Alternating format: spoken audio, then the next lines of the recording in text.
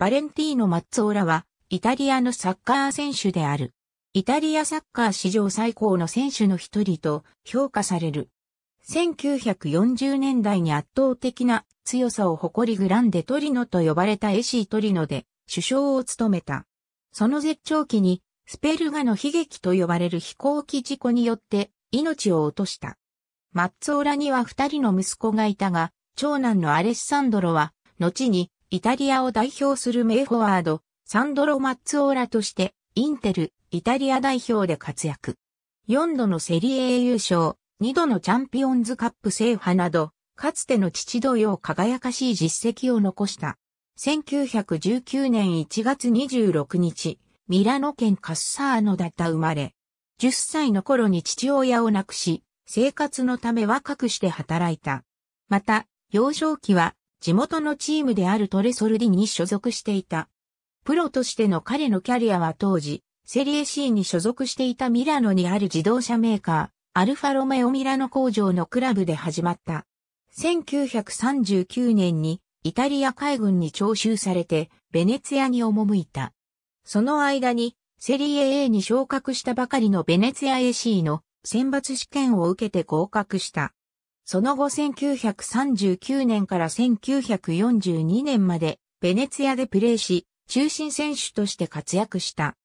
1940年に加わったエツヨロイクと強力なデュオを組み、1941年にはコッパイタリアで優勝、1942年には昇格後わずか4年目でリーグ3位に導いた。また、1942年4月5日のクロアチア代表戦でイタリア代表デビューした。グランデトリノと呼ばれた AC トリノこの年、マッツォーラは2名の選手プラス20万リラという破格のトレード条件で AC トリノに引き抜かれた。9月20日のコッパイタリア US アンコーナ1905戦ではマッツォーラの2得点を含めた7から0の対象でデビュー戦を飾った。この後イタリアリーグは第二次世界大戦の影響により断続的に中断したが、1943年から1948年にかけて AC トリノはリーグ4連覇を達成。マッツオーラはこの結出した攻撃力を備えたチームのキャプテンとして活躍した。1946から47シーズンはキャリアハイとなるリーグ29得点を記録して、得点王に輝き、1947年4月のビチェンツァカルチョ戦では、リーグ記録である2分で、ハットトリックを達成した。1948年から始まったシーズンも AC、トリノは好調を維持し、5連覇目前となった1949年5月4日。